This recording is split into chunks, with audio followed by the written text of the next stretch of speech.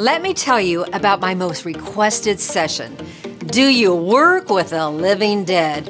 Which many have tagged CPR for your attitude. Your attitude on the job affects your productivity, your stress level, and even the morale of everyone around you.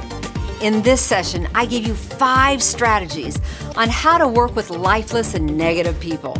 This session will inspire your employees to adjust their attitude to contribute to a more positive work environment.